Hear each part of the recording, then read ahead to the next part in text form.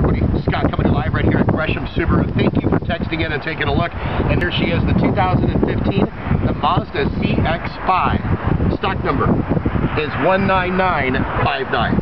And one great thing about texting in is with the video, you can actually see that this vehicle is here, up close and personal.